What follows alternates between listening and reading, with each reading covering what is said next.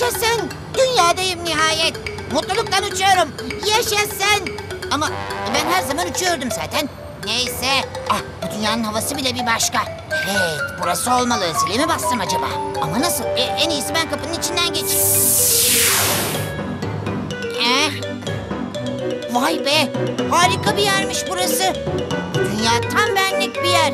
Oo, amma da rahatmış. Hmm, çok güzel. Oh.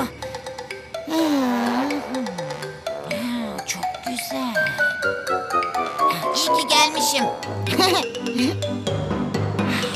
hey şunlara bak. Harika. Ben dünyayı çok sevdim. Aslında hiç gitmek istemiyorum. Eh, Saklanmalıyım. Eh,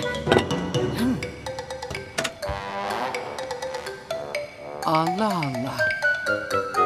Sesler duydum gibi. Hay Allah. Hayal gördüm herhalde. Sessiz ol Gorfo. Tamam.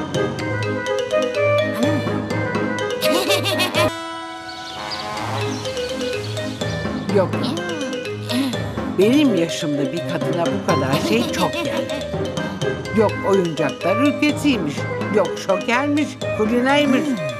Dünyam kaldırmıyor artık. Nana mı? Evet Nana. Ben de onu bekliyordum. Ay!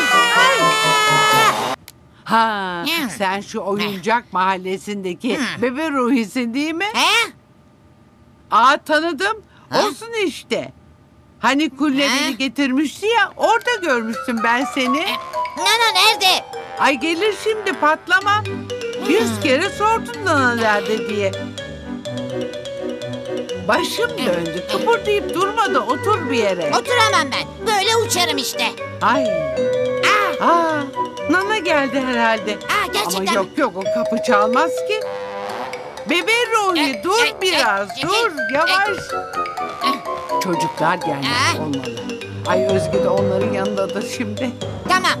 Sen en iyisi saklan. Saklan bakayım. Tamam, saklanıyorum. geç.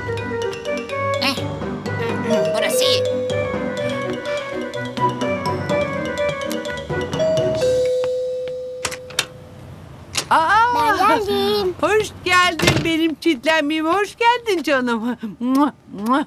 Ah, Şey Emre nerede? O ruhunu paraya saklamakmış. Ay ne diyorsun evladım sen? Okula bugün Sibel diye çok zengin bir kız geldi. Emre'nin aklını başından aldım Makbuş. O da okul çıkışı onların evine gitti. Ay baban duyunca küplere binecek vallahi. Bana ne? Ben ona söyledim. Tamam tamam. Hadi çık sen de. Çık.